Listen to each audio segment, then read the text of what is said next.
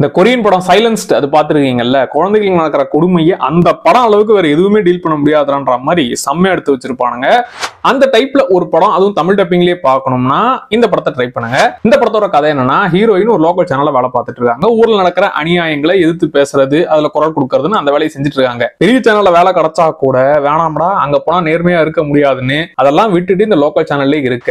அப்போ ஒரு நாள் ஒரு விஷயம் தெரிய வருது. இந்த மாதிரி குழந்தைகள் காப்பகத்துல குழந்தைகளுக்கு வெளியே சொல்ல முடியாத அளவுக்கு குடும்பம் நடந்துகிட்டு இருக்கு. அங்க நீங்க ரீச்சே பண்ண முடியாது. அந்த அளவுக்கு அவங்க கடத்தி வச்சுட்டு இருக்கிற மாதிரி குழந்தைகளை டார்ச்சர் பண்றானுங்கன்ற விஷயம் தெரியவும் அதை வெளியே எடுத்துட்டு வரணும் அந்த குழந்தைகளை காப்பாற்றணும்னு எல்லா பக்கமும் போராட்டினாலும் எல்லா இடத்துலயும் இவங்களுடைய ஆளுங்க இருக்கிறாங்க. சோ மொத்தமா இது பெரிய ஆளுங்க சப்போர்ட்டோட தான் நடக்குதுன்றது தெரிஞ்சு அந்த குழந்தைகளை எப்படி காப்பாத்துனாங்க அதுக்காக என்னெல்லாம் செஞ்சாங்கன்றதுதான் இந்த படம். படத்தோட பேரு பக்ஷக். நெட்ஃபிளிக்ஸ்ல தமிழ் டப்பிங்லயே இருக்குது. இது ரொம்ப பொறுமையா போகக்கூடிய படம். அந்த மைண்ட் செட்ல உட்காந்தீங்கன்னா இந்த படம் கண்டிப்பா பிடிக்கும். நல்ல ஒரு படம் தான் ஆனா ஏகப்பட்ட கெட்ட வார்த்தைங்க இருக்கிறதுனால இதை ஃபேமிலியா பார்க்க முடியாது. ஆனால் கண்டிப்பா இந்த படத்தை ட்ரை பண்ணுங்க.